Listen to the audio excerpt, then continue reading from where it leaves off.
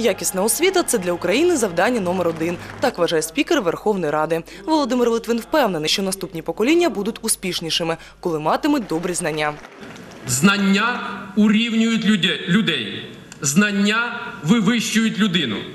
І взагалі, ми повинні виходити з того, що в демократичній країні немає патентів на благородне походження.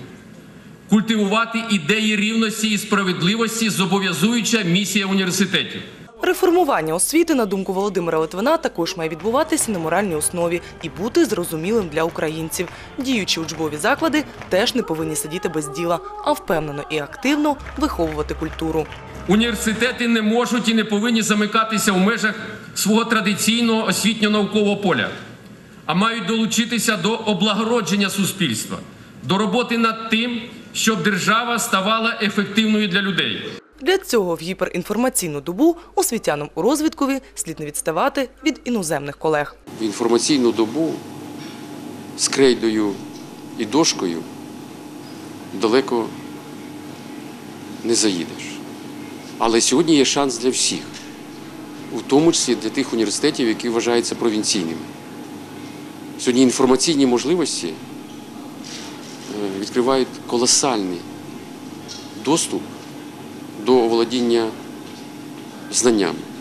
Далі від проблем освітянських спікер Верховної Ради перейшов до питань соціальних.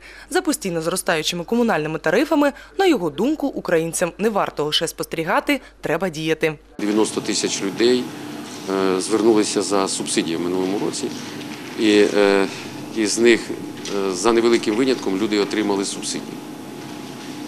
Зрозуміло, що е, це часто густо принизливо для людей отримати субсидію, яка в середньому склала, якщо я не помиляюсь, десь у вас в області 144 е, е, гривні.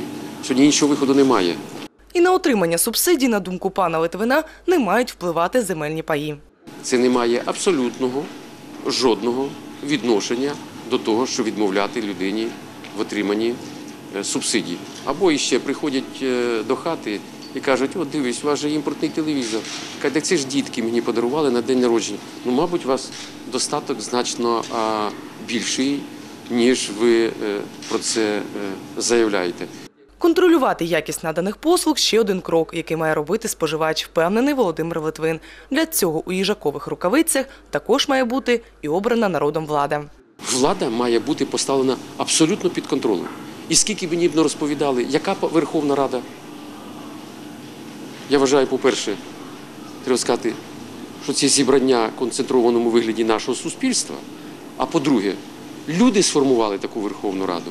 Володимир Михайлович впевнений, якщо українці зможуть давати оцінку діяльності депутатам і самостійно їх відкликати, в країні буде менше непорозумінь між народними обранцями і самим народом. Євгенія Гнєвшева, Василь Саєнко, Владислав Тягун, Вікка Новини.